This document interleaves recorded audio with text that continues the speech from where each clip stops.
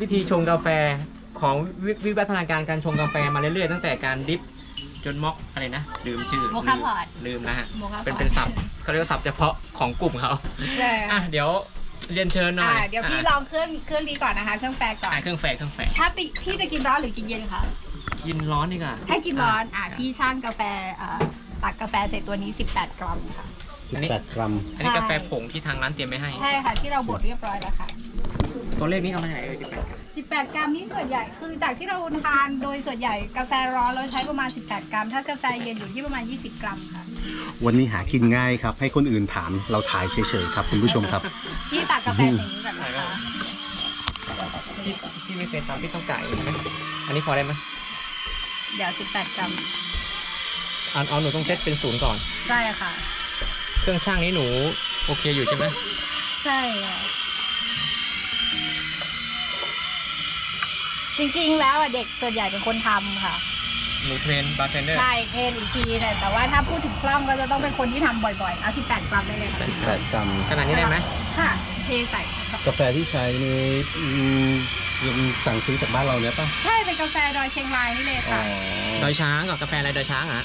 ดอยช้างคือเบรนด์มาผสมกันนะคะ เพราะว่าเครื่องตัวเนี้ยมันจะใช้กาแฟแบบ เฉพาะนิดนึงอะค่ะ ให้บอดี้มันหนาหน่อยอะไรอย่างเงี้ยค่ะเท่าไหร่18ละเอ14ซีค่ะเอาเยอะเหมือนกันนะเนี่ยได้ค่ะเกินนะหนูได้ตัดออกโอเค ถามนิดนึงกี่บาทเนี่ยโอคกี่บาทหมายถึงราคาไม่หมายถึงแก้วทำเสร็จแล้วแก้วกี่บาทขายเนี่ยในราคาราคาทั่วไปเลยอะพี่ ราคาทั่วไปเลย ประมาณ 800 ฮะ ได้อยู่ค่ะอะโออะเคที่เดี๋ยวเดี๋ยได้วแล้วอันนี้เป็นกาแฟที่เราช่าง 18 กรัมสำหรับกาแฟชงร้อนครับผมอ่าน18กรัมโอเค พี่ต้องแต้มค่ะ ใช้ตัวนี้แต้มกดลงไป เพื่อจะให้ เพื่อ อันนี้เพื่อกดกาแฟให้มันเป็นก้อนเหรอใช่ค่ะ ให้ตัวเขาแน่นแล้วก็มีบอดี้ที่หนาขึ้นเวลาเราแบบชงอะไรกดลงไปแบบนี้หนึ่งสองสามอึ๊บ กดแน่นเลยไหมเอ่อหรือว่าแค่พอจดีริงๆแล้ว คือถ้าเป็นกาแฟเลยเขาก็จะมีน้ำหนักประมาณ 7กิโลต่อต่อการกดครั้งหนึ่งเพื่อจะให้ตัว perfect shot มันออกอะค่ะ อ๋อ แต่ว่าอย่างเราเนี่ยเรากะเอาถ้าชอบเอาจริง ๆ นะ อันนี้อันนี้ประสบการณ์ล้วนๆถ้าชอบเข้มก็กดแน่นหน่อยอะค่ะ อ๋อแต่ถ้าชอบตัวแบบฟรุตๆหอมๆเบาๆบางๆอะไรอย่างเงี้ยก็มันมีเบาผลมีผลค่ะมีผลในการกดการกดแน่นไม่ได้มีผลต่อรสชาติใช่ไหม ใช่มีผลค่ะโอเคได้แล้วหลังจากที่เรากดอ่านลำดับสเต็ปขั้นตอน อีกข้างหนึ่ง ต่อไปใส่นี้เลยเนาะอ่าใส่เลยค่ะอะเอาใส่ลงไปในนี้นะครับ แล้วก็ตัวตะแกรงสิบหกค่ะ ตะแกรงนี่ค่ะนี่ค่ะพี่นี่ค่ะ พี่ห่วงกล้องพี่อะมันเป็นช็อตสำคัญแล้วมันไม่ได้ถ่ายหนูทำเลย ให้ให้เขาถือไว้อะ ตัวนี้ก็จะเป็นตะแกรงนะคะต้องใส่ตะแกรงด้วยใช่ไหมใช่โอค่ะเคอันนี้ไม่รู้ว่าพี่เขากดไปแค่ไหนนะคะ ก็เลยเดี๋ยวเราชิมดูก่อนแล้ว ก็ใส่ตัว โอเค เดี๋ยวเดี๋ยวนั่นหนึ่งสองสามใส่ตะแกรงแล้วนะคะ อะโอเค เสร็จแล้วเราก็ใส่ตัวนี้เข้าไปอะอือฮึ แล้วก็เอาน้ำร้อนค่ะ อุณหภูมิน้ำร้อนน้ำร้อนก็อยู่ประมาณ 90 90 องศาค่ะ90 93 อยู่เลทประมาณนี้ก็กำลังโอเคค่ะ ใส่ตะแกรงนะครับ ใส่ตะแกรงลงไปโอ้นี่เป็นเขาเรียกก็คือเป็นกาแฟที่ที่ต้องทำเองทั้งหมดอะค่ะ อืม เพราะส่วนใหญ่เนี่ยถ้าเป็นเครื่องเขาก็จะกำหนดอุณหภูมิกำหนดทุกอย่างไว้แล้วค่ะ เทลงไปในเครื่องใช่ไหมหนูใช่เทเข้าไปค่ะเทไปในเบ้านี่ฮะ เรียกว่าใช่ เบ้าได้ไหม เบาค่ะเบา มันเทาของเบาค่ะ ครับอ๋อได้แล้วได้แล้วแล้วก็เอาเดี๋ยวพี่มาปั๊มเองเนาะได้ค่ะเดี๋ยวพี่ก็เอจากงนั้น ตัวนี้ก็จะเป็นบาร์วัด บาวัดต้องค่ะ วัดให้ได้กี่บาร์กี่ เอ่อจริงจริงจริงแล้วประมาณ 10 10 ตัวเนี้ยใช้ประมาณไม่เกิน 10 ค่ะ เพราะเรากดยังไงก็ประมาณ 10 เท่านั้นอ๋อนะคะ คือสุดชีวิตแล้วก็10ใช่ไหมแต่ว่าเขาสามารถกดได้ถึง 15 นะคะ อ๋อถ้ามีแรงพอใช่ ขอแก้วค่ะพี่ โอเคครับ ใช้ตากล้องค่ะได้เอออ่าฮะโอเคโอเค โอเค นั่นคือเอ็กเพรสโซ่ฮะ ใช่ค่ะโอเค ตัวนี้จะเป็นเอาเอสเปรสโซ่ช็อตนะคะเดี๋ยวอือฮึอะ เดี๋ยวขอเคลียร์ก่อน เชื่อสิแม่ค้าก็เริ่มลืมวิธีทำละใช่ค่ะ เพราะว่าเทรนเขาไม่ได้ทเพราะส่วนใหญ่ก็จะเทรนเอา โอเคำอะอันนี้นะคะ จากนั้นอะได้อะครับพี่กดเลยค่ะ กดเลยเราจะมากดเครื่อง Flair นะฮะตอนนี้ ตอนนี้อุปกรณ์ที่อยู่บนเครื่อง Flair น่าจะเป็นกระบอกกาแฟตรงนี้ถูกไหมใช่แล้วเป็นน้ำร้อนผ่านกาแฟแล้วก็ออกมาเป็นตัวน้ำกาแฟเรากดกดน้ำให้ผ่านกาแฟน้ำร้อนผ่านกาแฟอะพร้อมนะฮะเฮ้ยเราดูหนึ่งสองสามต้องออกแรงเยอะไหมเนี่ยเอา มันแล้วแต่แรงกดค่ะพี่ลองลองกดดูก่อน เพราะว่าถ้าพี่ tamp แน่นมันก็จะกดยากเอามาหยดหยดมาแล้วฮะหยดมาค่ะแล้วหยดตัมาวแล้วตัวนี้จะเป็นปริมาณวันนี้เป็นเวลาสกัดนะคะ ตัวนี้จะเป็นปริมาณกาแฟที่เอาออกส่วนใหญ่เราเขาเรียกว่ายิงช็อตอะค่ะยิงให้รสช็อต ให้รสชาติที่เราต้องการอย่างเช่น 30 วิกี่กรัมอะไรอย่างเงี้ยค่ะ28 กรัม 25 กรัมแล้วแต่อันนี้ 14 วิ 12 กรัม ใช่ค่ะมีผลต่อรสชานี่ติกาแฟ จับเวลาให้ด้วยเสร็จเรียบร้อยเลย มันแล้วแต่ร้านนะคะ บางร้านก็จะยิงช็อตแล้วแต่อืม ให้ให้รสชาติมันออกมาอย่างที่ต้องการอะค่ะแล้วตัวเลขไหน เด็ดสุดเออะไรสุด อส่วนใหญ่เขาก็ไม่เกิน 30 วิ28 กรัม 30 กรัมอะไรอย่างเงี้อันยนี้ค่ะเกินแล้วอะ30วินะพอยัง ได้ได้ค่ะอะแล้วโอเคอันนี้30วินะฮะ เมื่อกี้เรากดลงไปแล้วเราก็ดึงดึงขึ้นเลยเนาะโอเคขึ้นได้เลยค่ะอืออันนี้ก็จะได้เป็นเอสเปรสโซ่ช็อตสำหรับกาแฟหนึ่งแก้วค่ะอันนี้เป็นเอสเปรสโซ่ช็อตเอสเปรสโซ่จะเป็นกาแฟได้กาแฟหนึ่งแก้วฮะคุณผู้ชมครับ รอกันแบบอืมเหงื่อออกเลยเห็นไหมครับคุณผู้ชมครับ อันนี้เอาไปทำอเมริกาโน่บ้านไร่เก้าไม้ฟาร์มคาเฟ่ฮะที่บ้านเวียงแก้วเชียงแสนเชียงรายครับ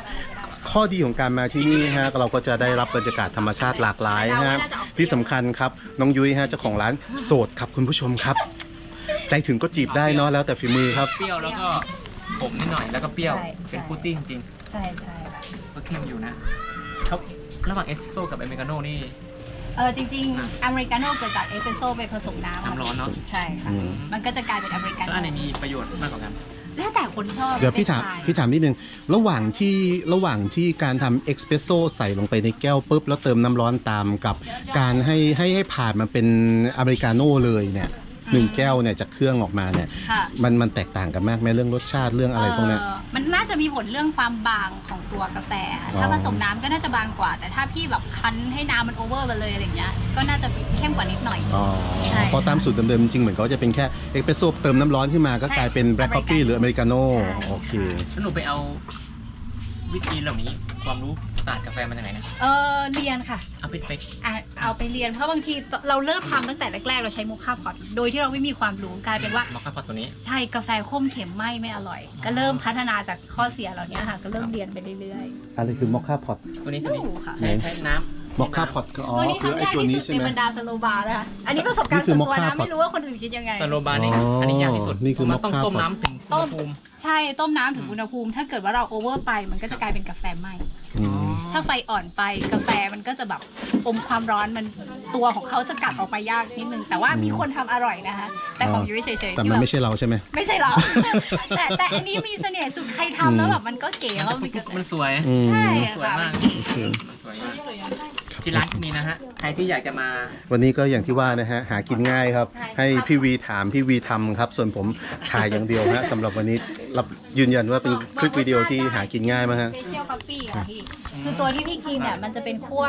เข้มเอ้ยครับคั่วกลางค่อนเข้มอืมนะคะคือ dark นะคะ ส่วน special coffee ที่เราที่เราไปผสมมาเนี่ย มันก็จะออกเป็นกินแล้ว คั่วอ่อนเป็นไงบ้าง เปรี้ยวมันเปรี้ยวขมมันนิดนึงเปรี้ยวใช่ไหมอะมันคั่วอ่อนใช่ไหม โคตรเปรี้ยว อ๋อเอาละสุดท้ายเนี่ยฮะน้องยุ้ยครับ ค่ะ ในฐานะที่เปิดเป็นเจ้าของร้านนี้ครับ ชวนเชิญคนมาเชิญชวนคนมาที่ร้านนี้หน่อยฮะ บอกรายละเอียดสถานที่หมายเลขติดต่อเพจเปิดอะไรบอกหน่อยครับเอ่อเพพี่รู้จ ว่าน้องยุ้ยเป็นคนคุยไม่เก่งฮะเพราะฉะนั้นบอกได้ครับบอกได้ เพจของเราจริงๆที่นี่เปิดมาเข้าสู่ปีที่ 4ย่างเข้าปีที่ 5 แล้วนะคะ ก็เพจบ้านไร่เก้าไม้เลยค่ะ ก็จะจะบ้านไร่จะเก้าไม้ จะจะขึ้นเลยนะครัคะ บ แล้วก็เส้นทางมาเส้นระหว่างเชียงแสนเ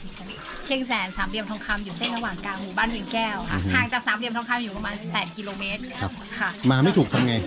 เอ่อโทรได้ค่ะ ฮะ โทรได้ 0 6 4 9 9 4 6 3 8 3ครับค่ะก็เปิดสามารถเปิดทุกวันไหมเปิดทุกวันค่ะที่เปิดทุกวันกี่โมงถึงกี่โมงเอ่ยเอ่อ10โมงเช้าจนถึงประมาณ6โมงเย็นค่ะเพราะที่นี่เปิดดีกว่านี้ไม่ได้ยังใช้โซลาร์เซลล์อยู่ โอเค สุดท้ายฮะ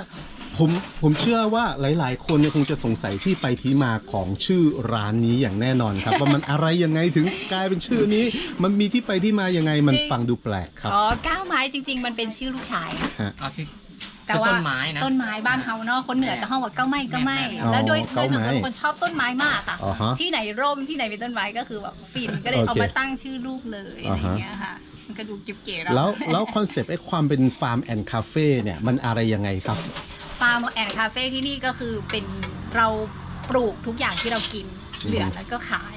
อย่างร้านอาหารที่นี่ข้าวเราปลูกเองค่ะอืมปลาเราเลี้ยงเองอืมผักเราก็ปลูกเองอืมแล้วก็พวกชาพวกอะไรอย่างเงี้ยอันไหนเราปลูกได้เราปลูกหมดอืมก็เลยกลายเป็นฟาร์มที่ป้อนของให้คาเฟ่ของเรา แล้วแล้วแล้วแล้วจุดเด่นของที่นี่จากการปลูกเองเนี่ยหมายความว่าใช้ผลิตภัณฑ์ประเภทไหนครับเป็นออร์แกนิกไหมเป็นอะไรไหม เป็นอินทรีย์ทั้งหมดค่ะเป็นเพราะว่าอินทรีย์ทั้งหมดใช่ที่นี่เราจะเป็นแบบ